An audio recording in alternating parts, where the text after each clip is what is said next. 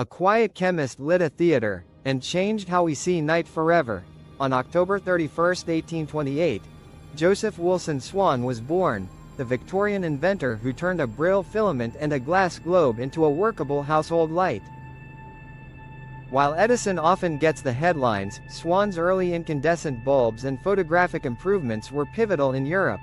By 1881 Swan's electric lighting had already illuminated the stage at London's Savoy Theatre, one of the first public electric lit theaters. Swan's practical approach, improving filaments, vacuum techniques, and the chemistry of photographic plates, solved real problems in workshop and home. His incandescent lamps weren't perfect at first, but they were reliable enough to push gaslight off the stage and into museums. Swan eventually merged his company with Edison's British interests, but history remembers both inventors because innovations rarely come from a single flash of genius. They're built by careful experiments and stubborn refinements.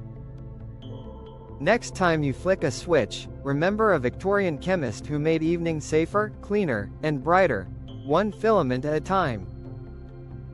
One quiet lab in Victorian England helped banish the dark, whose small experiment will light our future,